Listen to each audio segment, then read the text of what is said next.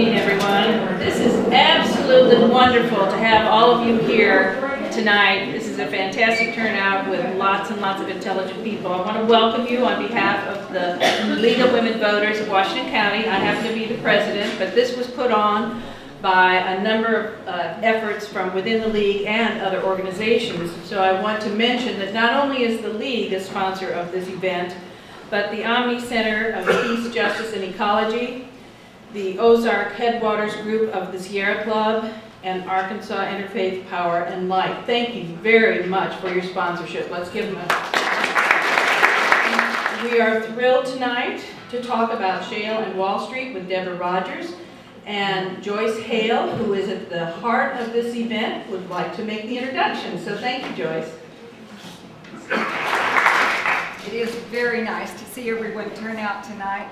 As you start listening and learning more and more about what is being talked about tonight, it's going to be a little different in that normally you hear things from the environmental perspective. Now we are talking about it from the economic and finance end. And this is so critical because it affects all of us much more than a situation where people think, well, I don't live in the shale area, so it doesn't involve me as much. This visit with Deborah Rogers tonight is going to put the whole issue in your lap. And I hope that you really will start learning more. About two years ago, I first became familiar with some of the work that Deborah Rogers was doing. And of course, for someone who had been in the trenches trying to educate the public, this was absolute manna from heaven. Because we all need the information that is researched, that has a good focus, very um, pointedly on what they're trying to say, and her materials always targeted very clearly and with language that all of us could understand what needed to be learned. So I've learned a great deal from this woman. When you get to a point in working in any kind of controversial area, you will be able to measure the level of your success by the people who criticize you. Because until you start making an impact, you really can't tell if they're even paying attention. And so having been a fortunate person to receive the name Fra Frankenstein by one of our leading companies, I take great pleasure in introducing to you the mother of all shale gas spin. and this is Deborah Rogers. so funny. Um, that was an industry uh, group called Energy In Depth that, that they, that's what they said, that I was the mother of all spin. Um, I am delighted to be back in Arkansas. I love Arkansas. I've been coming here since I was a tiny little girl. My parents first brought me here to go camping, when, and I don't even, I mean, these were some of my first memories. So I've always had a, a soft spot in my heart for Arkansas and it was just lovely flying in last night and seeing it. I always forget how beautiful it is until I see it again. So thank you for having me. I am going to cover a tremendous amount of information in a very short period of time. Can you hear me okay? It seems like I So I'm going to cover a lot of information. I'm going to cover it very quickly. Uh, and But then I'm going to open it up to questions and answers. And please, um, you know, I will stand here tonight until you have your very last question. I will give as much time to this as you want me to. Um, so, with, let's get started. I am of the opinion that shales should have come unraveled uh, shortly after the economic downturn in 2008. The reason they didn't is because the large Wall Street investment banks, and by these I refer to them as the usual suspects, the Goldman Sachs, the Bank of America, Merrill Lynch, etc., they saw an opportunity essentially to substitute shales for mortgage-backed securities, derivatives, and other financial products that were based on mortgage-backed securities, or mortgage-backed financial products. And they used essentially the same playbook, which was rather interesting. You may recall that in when the banks were selling derivatives, there were a number of things that they did. They used off-balance sheet financing. They bundled mortgages they sold securities to people who weren't sophisticated enough to understand. They reverse engineered products uh, to meet rating agencies' higher standards. you will see that in shales, they've essentially done the same thing. Uh, this is a quote from uh, Barclays Capital executive. He actually won an, uh, an award from Risk Magazine, which is a mergers and acquisition magazine, um, quite well known within the financial industry. And he is essentially stating here um, what I just went over. He said the main challenges in putting together the Chesapeake VPP deal, and by the way, VPP is a, a form of off-balance sheet financing called volumetric production payment. And Chesapeake Energy, as others, but they in particular, were very fond of these products. Um, we're getting the structure right and guiding the ratings agencies and institutional investors who did not necessarily have a deep familiarity with the energy business. Now, I have a problem with this because those institutional investors that he's referring to are pension funds. That means people's retirement monies were going into investments that the people who were in charge of these funds didn't really understand. Um, the difference here, as you're going to see as we go along, is that these banks, instead of keeping the toxic assets on their own books, which is what they did with mortgage-backed securities, and they learned their lesson. These are clever boys, um, and girls, but primarily boys. Um, they learned their lesson, and they this time used the same playbook, and um, but let the, the oil and gas companies keep the toxic assets on their their books, which was, as you will see, it will be much better for the banks, and but not so good for the shale companies. Now, um, as you recall, will recall, the banks also bundled mortgages. Well, in, in the case with shales, they bundled leases. And shale plays actually became uh, land grabs. That was the primary business and has been the primary business of shale plays. They would go in and offer a farmer sometimes $500, um, sometimes more. In my area, in, when it got into the urban areas in Fort Worth, the, the leasing costs actually went up to $30,000 an acre. That was most unusual. Stayed there for a very short period of time and then dropped back down. But primarily they were offering about $500 an acre, sometimes as much as 1000 Those are, That's about the average that people have been offered in every shale play across the U.S. And then they were turning around, drilling a handful of wells and pronouncing the entire play uh, proved up. And I'll go into more detail on that in a moment. And they were flipping it to other investors within the oil and gas industry for as much as $25,000 an acre. So you can see this was a very lucrative business for these companies. Um, this is a quote, uh, Chesapeake Energy CEO Aubrey McClendon was actually bragging to financial analysts about this. And he, he says unequivocally, I can assure you that buying leases for X and selling them for 5 to 10 times X is a lot more profitable than trying to produce gas. And he says at 5 to $6 an MCF. We haven't seen gas at 5 to $6 an MCF in quite some time, since about maybe 2009, 2010. So a lot of people within the industry have accused me of being a conspiracy theorist. They, they say, well, that's a very nice conspiracy, conspiracy theory, Deborah. Well, I don't believe in conspiracy theories. I believe in math, and the math is actually very, very simple indeed.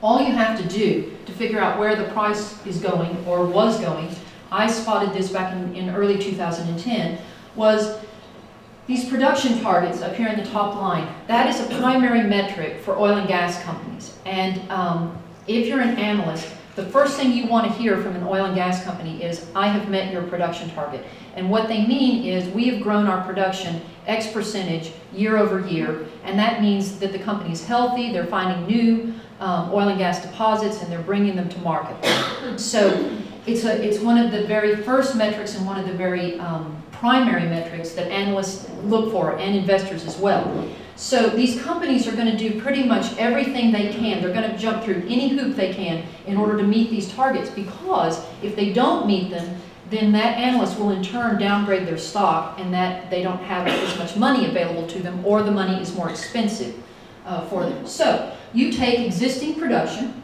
and then you add those production targets onto it and that's going to let you know how much gas you're going to have or oil. You can go out 12, 24 months in advance based on these production targets. And then I looked at what the current demand was in the U.S. and I could tell that, that we were going to have a significant surplus in natural gas. Now, when you have a surplus, that, that equals glut. And if you have a glut, prices go in one direction and one direction only. So it was very clear that prices were going to start trending down. The large investment banks saw that as an opportunity. And they turned around to the majors, the Exxon Mobils, the Shells, Chevrons, and so forth of the world, who had never been interested in shales because they said in the early days, we can't make this work. We, we, we're not, the gas isn't there and we can't make the numbers work. And they were never interested in shales. But now, because the SEC had also changed a rule for oil and gas, uh, and I'm going to get into that in more detail in just a moment, but they had changed the rule for oil and gas in 2009. And basically, they stated that you could now um, add shale reserves onto your books. And so you could expand your reserve base. And that's also a metric that analysts look for because they want to see if you have, um, it looks like your reserves are growing, then again, it looks like your company is healthier and, and, um, and you're, you're financially more healthy. So when they, they turned around to the majors, these investment banks, and they said, you can now go in, because the price is dropping, um, you can go in and we can help you facilitate these deals and um, you can pick them up for cents on the dollar. This is the price of natural gas in 2008, about $8. As that price started to fall, the value of the mergers and acquisitions deals in shales went up significantly. It went up from 15 billion in 2008 to 50 billion in 2009. 38, 47, and in 2012 it was like another 56 billion.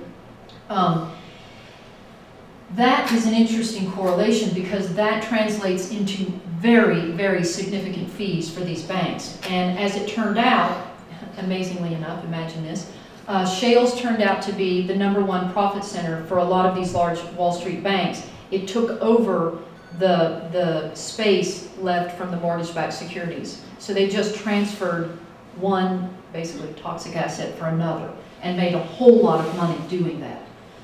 Um, so, do I have a problem with investment bankers making uh, large fees off investment deals? No. Investment banking is a very critical part of our financial system and it's a very needed part. Uh, what I have a problem with is that these banks um, went in and facilitated these deals and there's no way, I can tell you having worked in that business for a number of years, there's absolutely no way that you could do proper due diligence on any of these deals and not know that those underlying assets were not performing properly. And indeed, that's what happened. These, um, within a matter of months, the deals that the banks had made a whole lot of money off of in generating fees went south on the buyers. Uh, the one that you're going to be probably most familiar with is this one, BHP Billiton. And they went in and bought all of Chesapeake Energy's Fayetteville shale assets.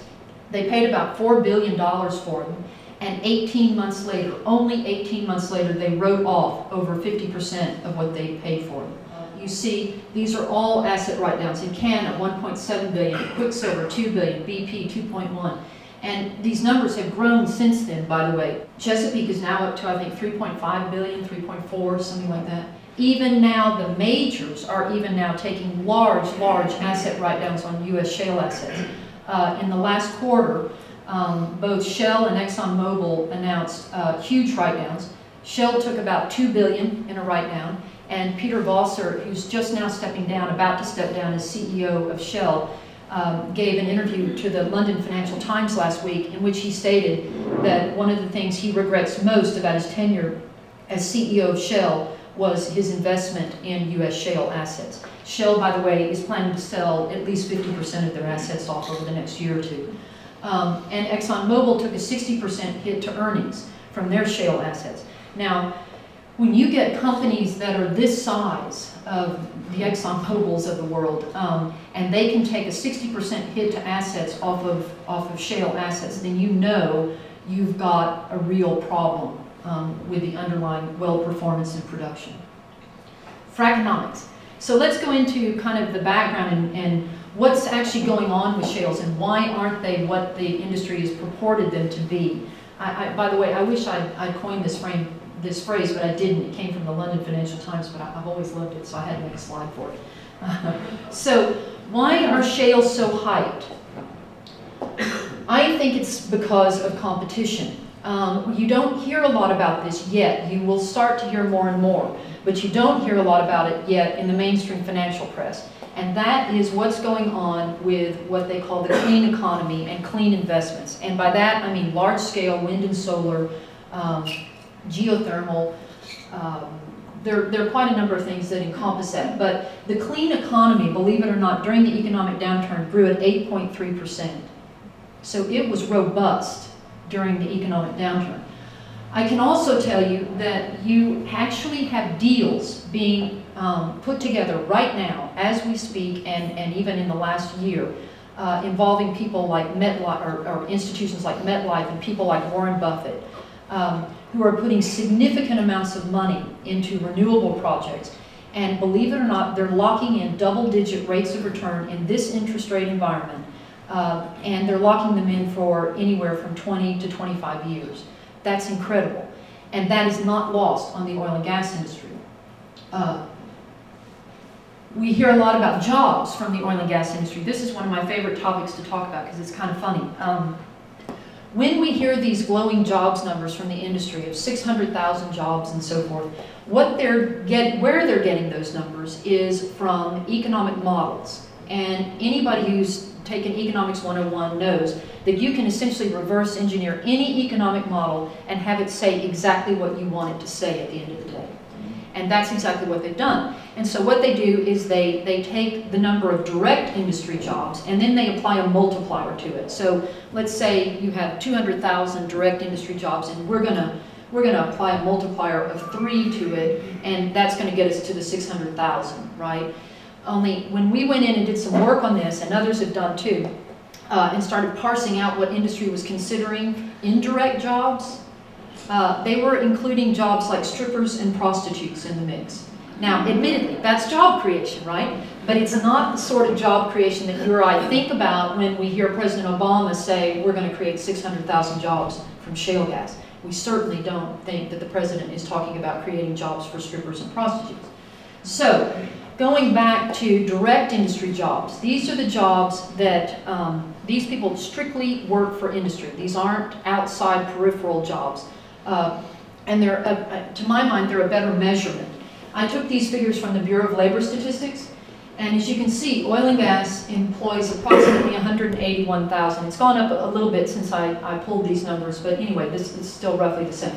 Renewables, uh, and I just included wind, solar, and geothermal in that, no other renewables. Uh, they employ approximately 183,000 people. Now, you've got equal number of jobs, roughly. But you can't stop there. You've got to look at how many jobs have been created per kilowatt generating capacity. And so I went in and checked that, and oil and gas accounts for about 45% of total kilowatt generating capacity, whereas renewables only count for about 15%. But do you see what's happened here? It means that renewables are creating significantly more jobs per kilowatt than oil and gas. I can promise you that is not lost on the oil and gas industry. That is why every time you turn on your television, I'm assuming it's the same here as it is in Texas, that you see these advertisements with the industry telling us how many jobs they've created. They know they're not keeping up with renewables, and they're trying to, to just get it in everyone's mind that they are creating jobs, when in fact, they're, they're lagging significantly. So let's go into the majors again. So this is another thing that most people don't realize the majors, and by that I'm talking about the big boys, the Exxon Mobils, the Shell, the Chevrons, ConocoPhillips. The majors, without exception, without exception, have not been able to grow reserves in a meaningful way for over a decade. So when the SEC changed the rules and, and uh, broadened the definition of shale reserves, the majors saw that as an opportunity to go in and basically, they're not finding any new oil and gas. They're just simply taking, um, they're taking from this pile over here and scooping it into their larger pile here. These aren't new reserves of oil and gas, but it makes it look like ExxonMobil is growing, or Shell is growing their reserves because they bought them. More than 25% typically per annum uh, of reserve replacement for the majors for the last decade has been nothing but consolidation, buying other people's assets and scooping them into their bigger pile. So that's a little bit of a problem because it's showing us all that um, these companies are struggling to find significant new, um, uh, um, what am I trying to say, plays of hydrocarbon or fields of hydrocarbons. Um, the other interesting thing about the majors is that they've been doing a little bit of what I, it's perfectly legal, but I think it's a little bit of accounting sleight of hand in that they've been going in and buying back their own shares. Uh, This is Rex Tillerson of ExxonMobil, CEO of ExxonMobil, and they're a classic example. ExxonMobil, believe it or not, has been buying back their own shares to the tune of $5 billion per quarter for, for quite a number of years now. Now, why would you do that? Well, it's quite simple. It's, it goes back to those metrics I was talking about earlier with analysts. One of the other metrics that analysts or even investors look at is earnings per share.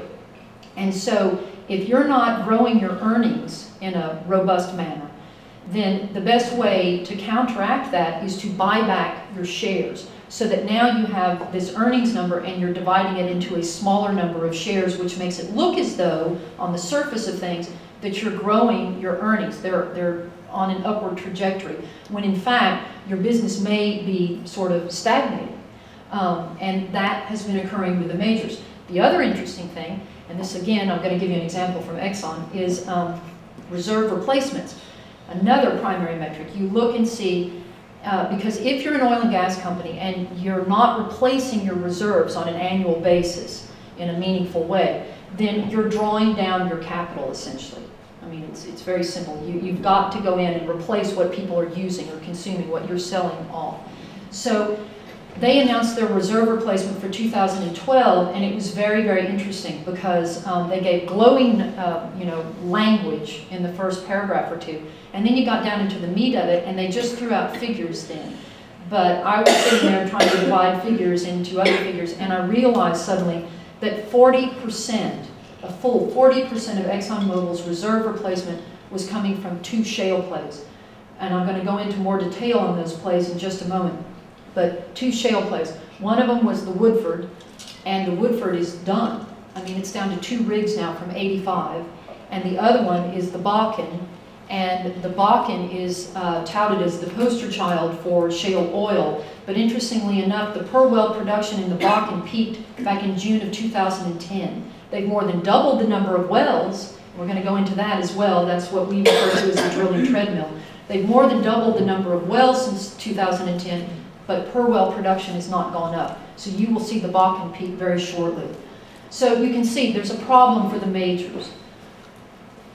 Um, recovery efficiencies for shales. Um, in conventional oil and gas fields, you could typically count on, traditionally, that you could pull out somewhere between uh, 75 and 80% of the gas or oil in place.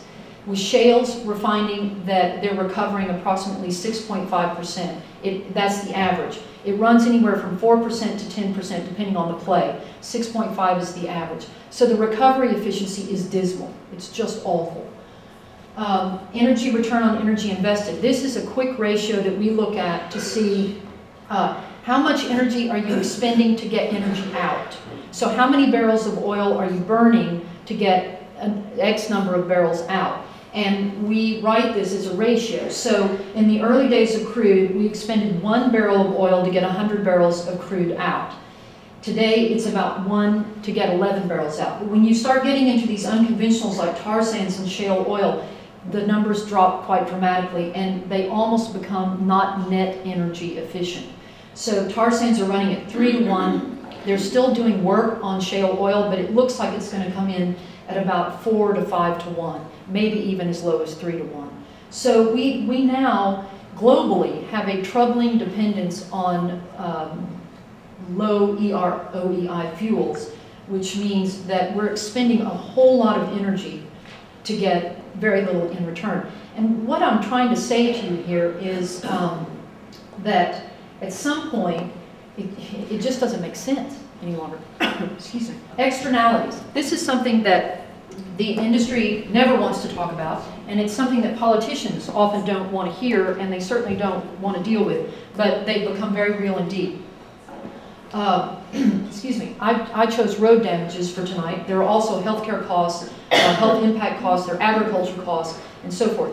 These are the costs that um, are borne by the taxpayers and local, thank you so much, local municipalities uh, based on this heavy industrial uh, activity that's going on. So let's just look at road damages here.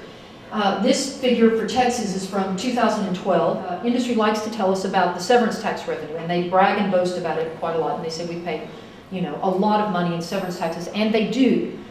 The problem is the severance taxes don't cover the damage that they've done. Somebody's going to have to pick up the difference. So in the state of Texas, and this includes all oil and gas, onshore and offshore, not just shales, uh, the severance tax revenue was 3.6 billion in 2012, but the damage estimated by TxDOT uh, just from shale drilling around the state is 4 billion. So we've got a shortfall. By the way, all these numbers come from state comptrollers and State Department of Transportation. North Dakota revenue 3.3 billion since 2010, cumulatively road damages from the Bakken 7 billion. Uh, Arkansas, you've taken in 182 million since 2009, but your road damages are now estimated to be 450 million.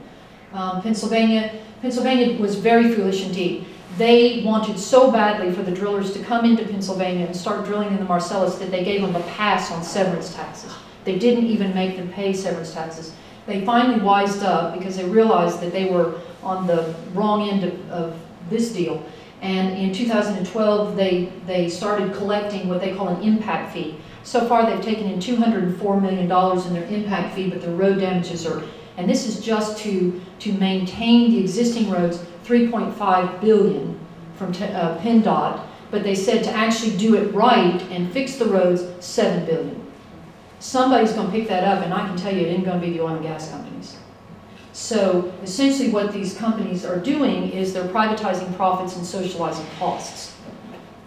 Lack of confidence within the industry. That's been very interesting to me indeed. There are quite a number of examples. If you look in the Marcellus, um, Norse Energy put all of their assets up for sale in December of 2011, and, um, and they were supposed to have some of the best assets in the Marcellus, and by December of 2012, they still had no takers and they had to declare bankruptcy.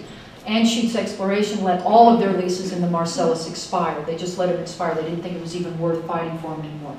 But the, my favorite is, because this one is, is most unusual, my favorite is out of the Bakken. Sorry, let me. In the Bakken, which is the poster child for shale oil, uh, one of pa partners went in and they wanted to build a pipeline from the Bakken Formation down to Cushing, Oklahoma. They couldn't get one single other entity to go in on it with them. Now, why is this strange? Because pipelines are cash cows. They are veritable money machines. They're very, very expensive uh, to build on the, so your upfront costs are very high. But once you have those costs um, paid for, you've got a money-making machine, literally, for decades and decades to come. And um, they could not find one single other entity within the industry to go in on a pipeline with them out of the Bakken. Now why? It's very simple. Those wells are not long lived. They're not going to last long enough. And so if you were to go in, well, if you look at the actual production history from the Bakken, and I'm not talking about operator projections, I'm talking about actual production history from the Bakken, we now know that the average Bakken well is at stripper well status by year six. It's ready to be abandoned by year six. Um, and so if you have a whole field full of wells that are depleting this rapidly, um, you're not going to have that commodity there for decades and decades to come, as the industry likes to say. Uh, and so it does not make sense. You can't make the numbers work on a pipeline. So they put a lot of spin on it and they said, we're going to ship by rail. And that enables us to get the gas, or the oil, excuse me, where we want it to go. Well, that sounds good and it's good PR. But the fact is that shipping by rail costs three times what a pipeline would cost. So if the commodity was going to be there for any length of time, you would definitely want to put a pipeline in, and they didn't want to do that. Um, if you want to look at the financial health of these companies, it's very, very interesting indeed. I could sit here all night and bore you with financial figures, but I'm going to do something very quick because it's simple and easy, and it's a, it's a good metric for anybody to look at.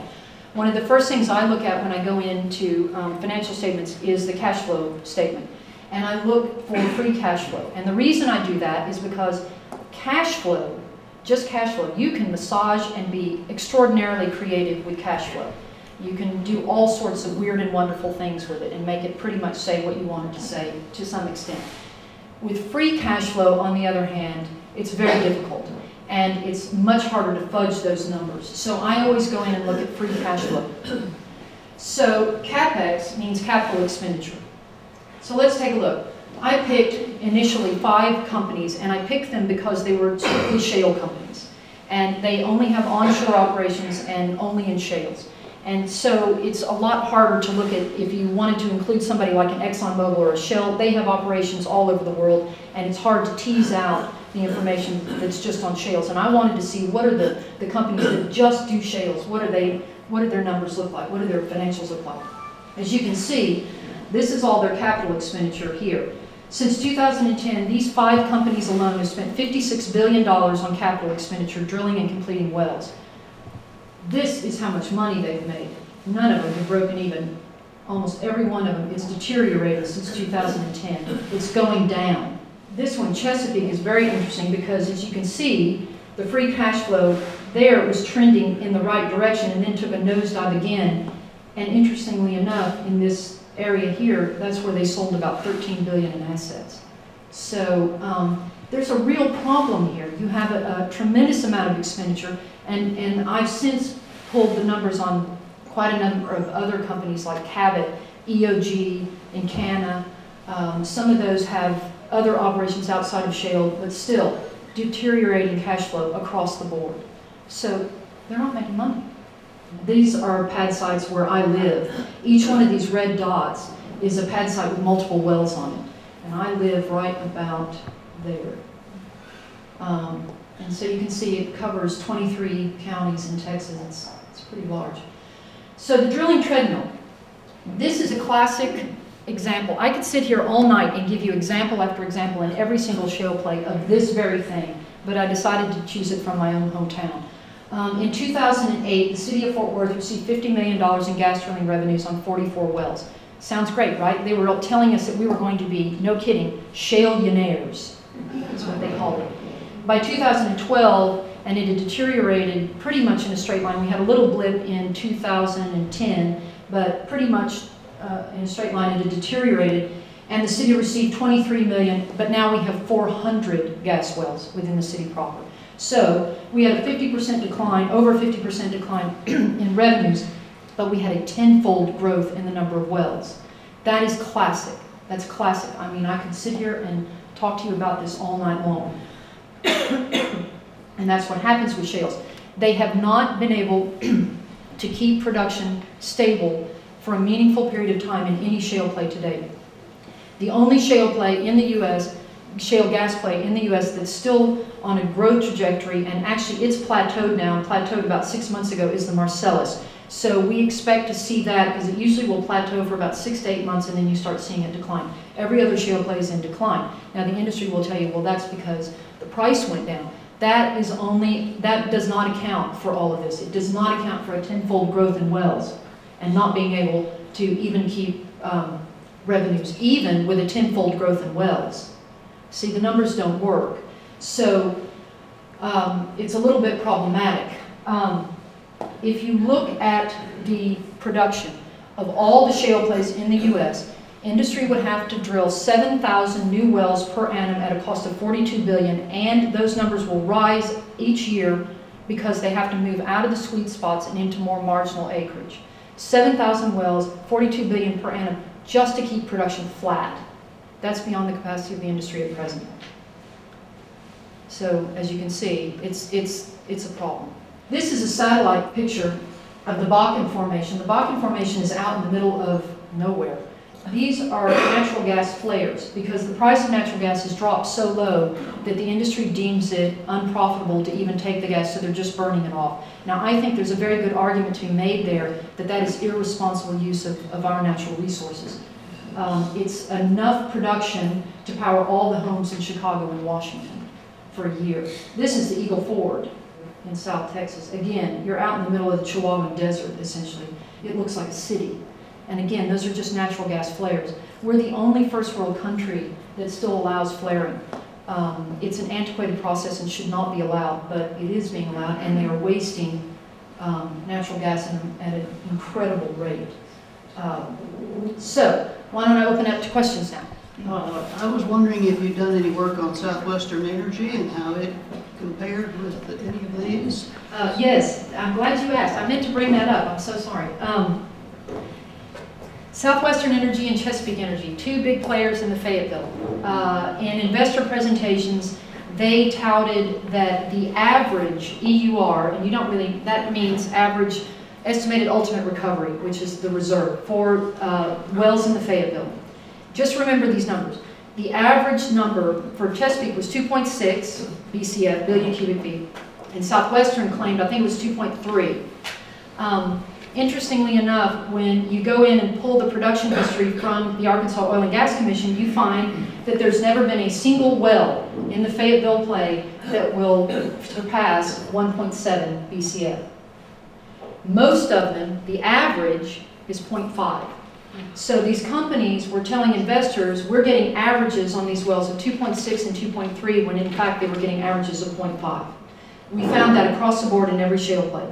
Um, what we found when we pulled the actual production history from the various states was that operators, I'm so sorry, I don't know, operators have overestimated reserves by a minimum of 100%, and in some places as much as 4 to 500%.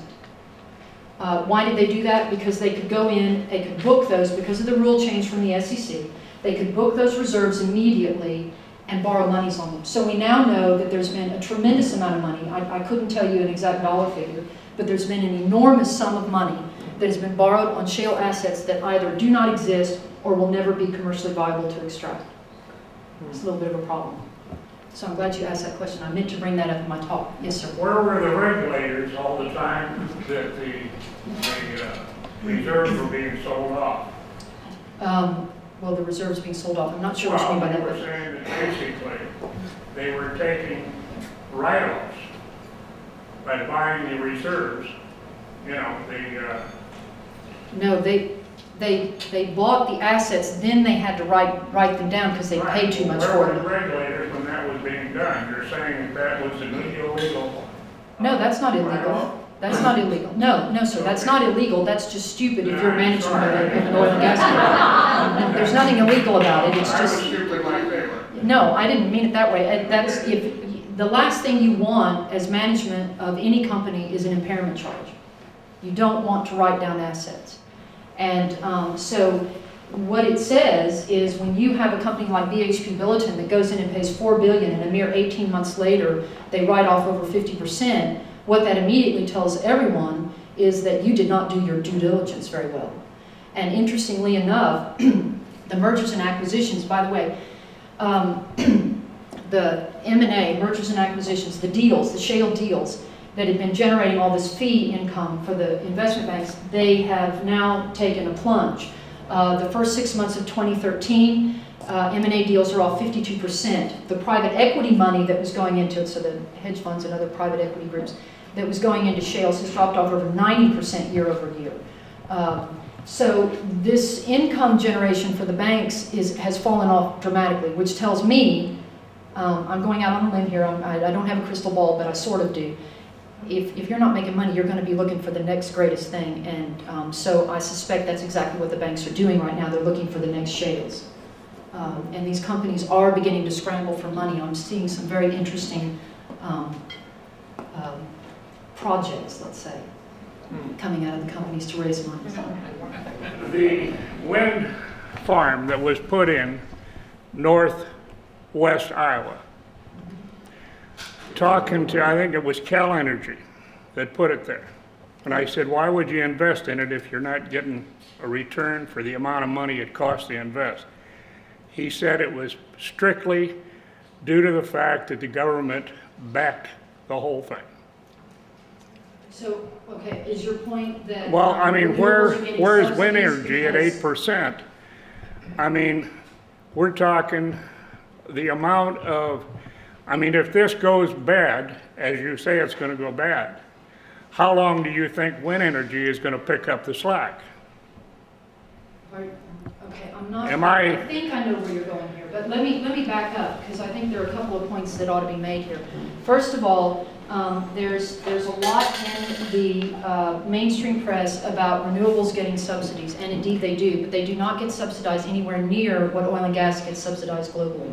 Oil and gas is one of the largest subsidized um, entities on the planet. if you take it globally, I mean, in the US and globally.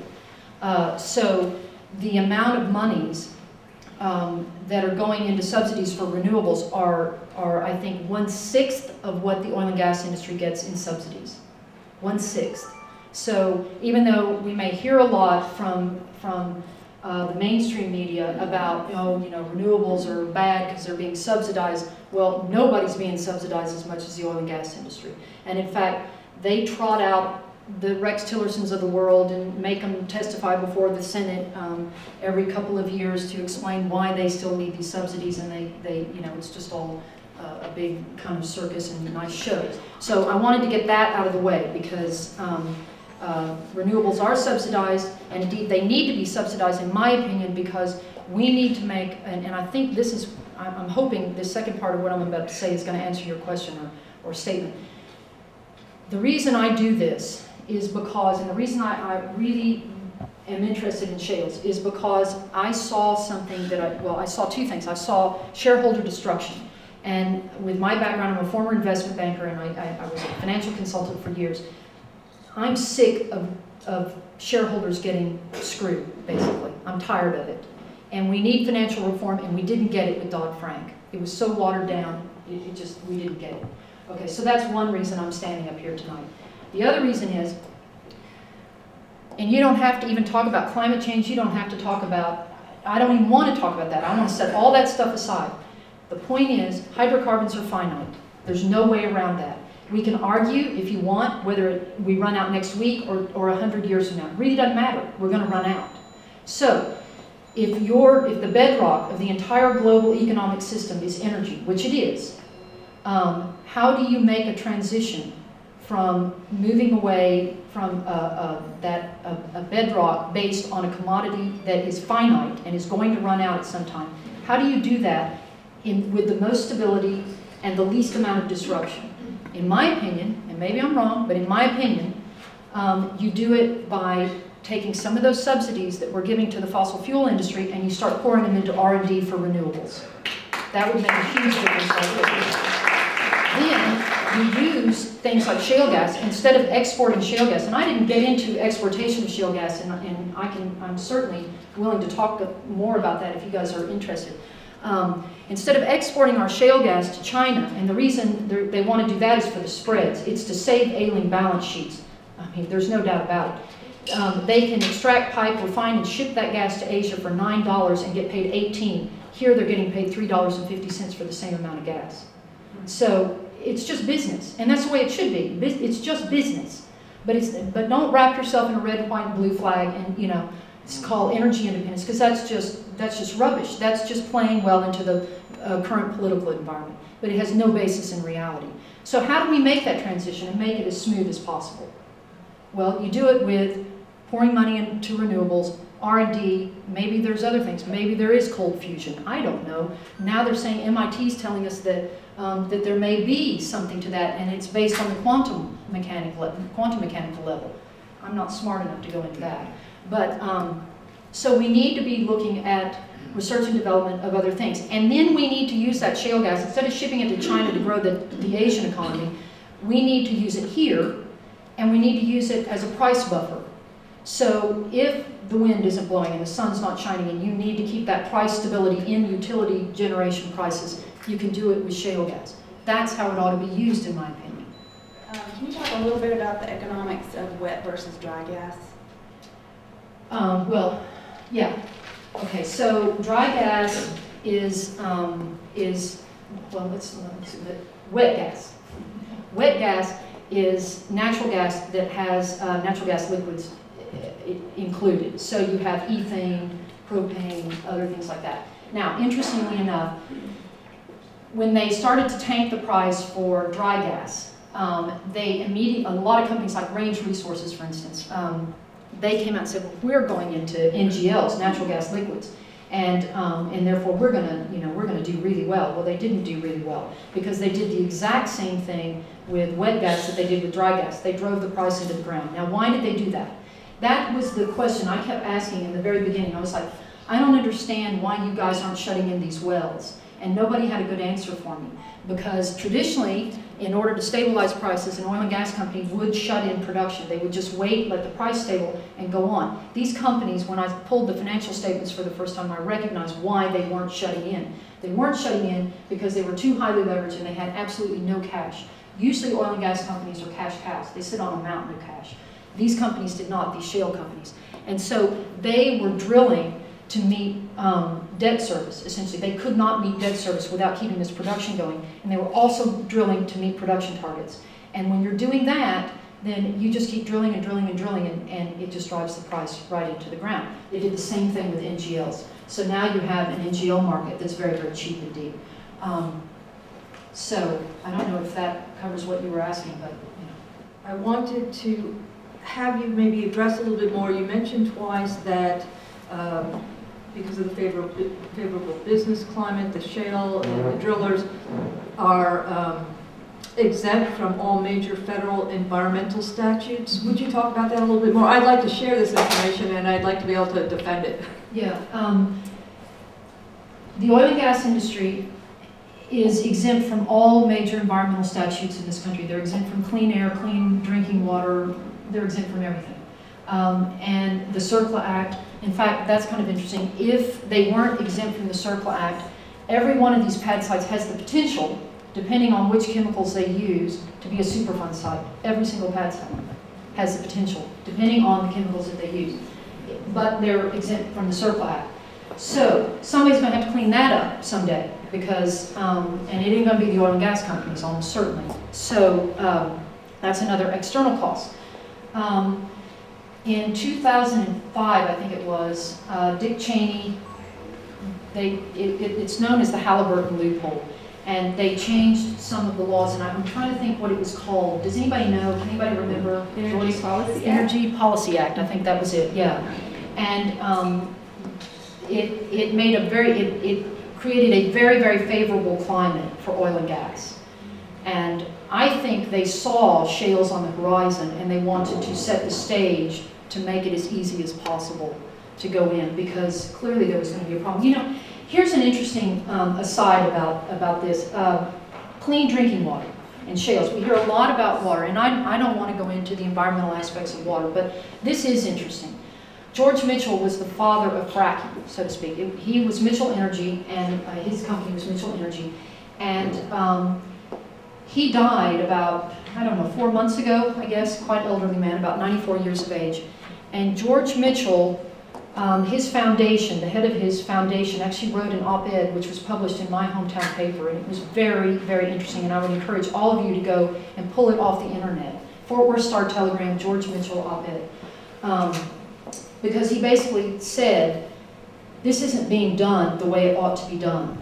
And they are not protecting the drinking water the way it ought to be protected. And I think, I don't have any proof of this, I did not talk to Mr. Mitchell before he died, but I think that he was an older man who felt like, oh my God, this is going to be my legacy. And he saw a problem. And so he started speaking out about it in the last months of his life. And I found that very poignant, actually.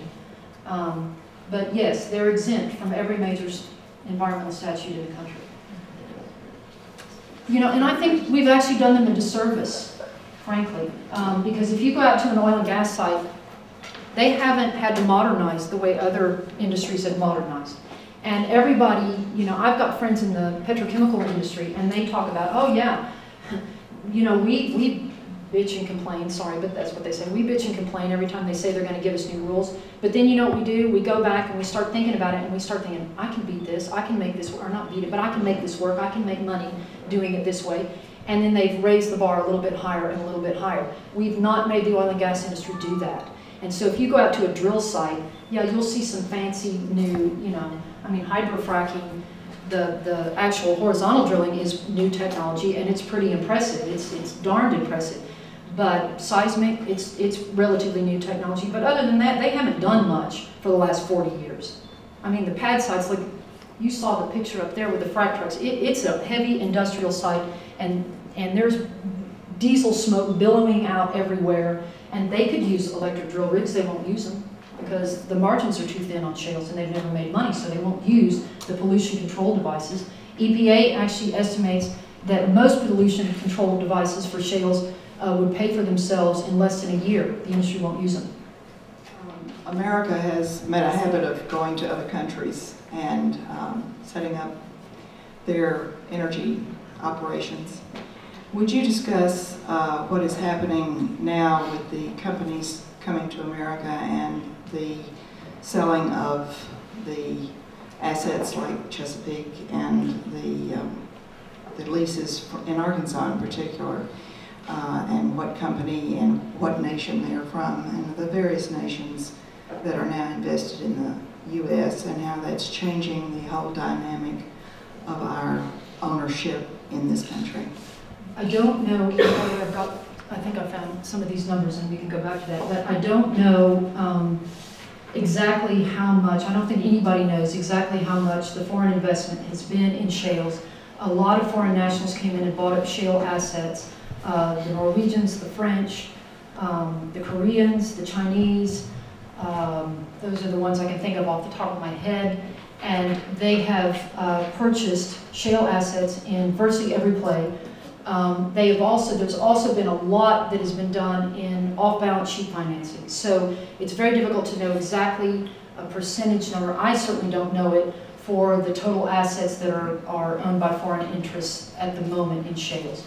Um, I'm not sure anybody really knows it because if you recall, that's what brought Chesapeake down was the 1 point billion, or 1.1 billion in um, off-balance sheet financing and the loans that the analysts didn't know existed. That was all, uh, a, a lot of that was foreign investment and they didn't know it existed. So um, there's a great deal. Um, I'm trying to think in the Barnett, I think most of the assets in the Barnett have now been flipped. All of the major players, Chesapeake, Range, Devon, well Devon's still there a little bit, but um, most of the major players, EOG, they're gone. They're completely gone out of the Barnett. They flipped the assets and uh, quite a number of those have gone to, um, I'm trying to think, they've gone to the French in the Barnett, they've gone to the Chinese. Um, so there's, there's a huge amount of shale assets that have actually been purchased in the last couple of years uh, by sovereign wealth funds and um, actual uh, uh, oil and gas companies, international oil and gas companies. The uh, treadmill that you described, uh, the the drilling that has to keep up to maintain production quotas and to support the balance sheets and so on, sounds like a Ponzi scheme. And uh, usually at the end, somebody pays. So who's, who's going to wind up paying when the music stops in this case? And there isn't enough gas to rig pump up? Well, that's a good question. I mean, I think already the people that are paying are the people invested in pension funds.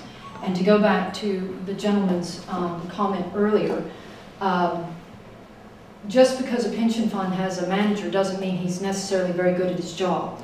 Uh, you, you know, if that were the case, then we never should have had the meltdown with the mortgage-backed securities crisis. Uh, we should never have a down market in that case. Um, so the logic behind that is certainly flawed.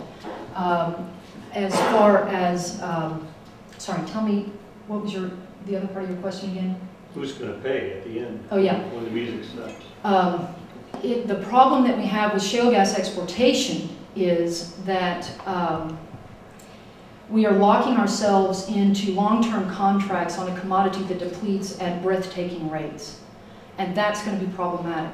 One of two things is going to happen. I mean, either they're going to default on the contracts because they simply can't keep up the production enough, or the international pricing pressure from um, just the higher prices in Asia and Europe will, will, they will, there's no doubt, I mean, everybody's in agreement of that. They will exert pricing pressure on our domestic price and it will go up. So if it goes up high enough, then it will make it cost effective for them to drill. The economics will work, but it has to go pretty high indeed. The average break-even cost for shales is about $7.50 to $8.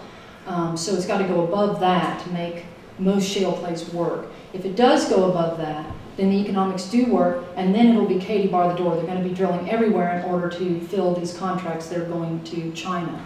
Um, and then you've got, you know, you've got significant environmental degradation. And you still don't get away from that drilling treadmill. You still don't get away from the fact that you can't keep revenue stable. You have to just keep this frenzy of drilling all the time. Uh, and as they move out from the sweet spots into more marginal acreage, they're going to have to drill Like when you get, you start out here in a sweet spot, when you get out here into the more marginal acreage, you may be drilling two, maybe three wells just to equal the production from one well in the sweet spot.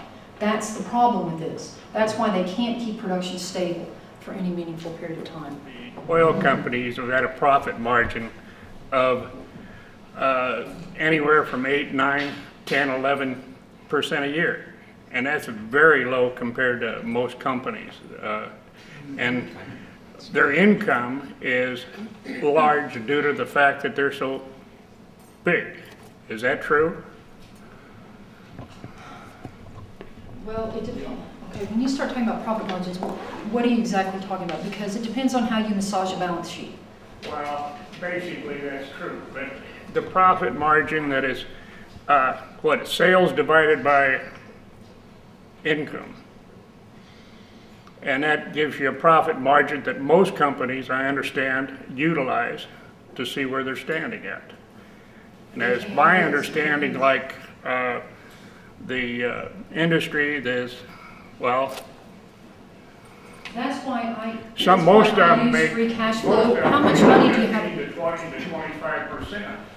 How, how much do you, how much cash do you have at the end of the day? I mean, if you're a business or you're a family, how much cash do you have at the end of the day? Well, that's what I'm saying, they have, You- uh, they have a lot of cash, but compared to their, in- you know, But they don't have a lot of cash. See, that was, that was my point with this free cash flow. They don't. It's been deteriorating. Well, It's negative. It's not even positive, it's negative. Um, and that was this,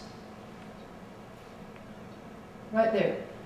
This is all- has this been going on? This has been going on since 2010. I just drew, drew these numbers since 2010. You can go back to 2007. If you go back to 2007, there, they haven't had a prop, if you take, take a universe of 37 different companies involved in shales, they haven't had a single um, uh, quarter, profitable quarter for free cash flow. So that's why, I mean, when you start getting into things, you can, you can play around with balance sheets so much and you can make them say whatever you want them to say. But the bottom line is, do you have any money left at the end of the day? And that's why I look at free cash flow. And in that case, as you can see, it's been deteriorating, it's been going down. 2010, 11, 12, 10, 11, 12, 10, 11, 12, 10, 11, and this is break even, that line across there. And so, um, there, it's deteriorating, it's not getting better, it's getting worse as time goes by. So, anybody else?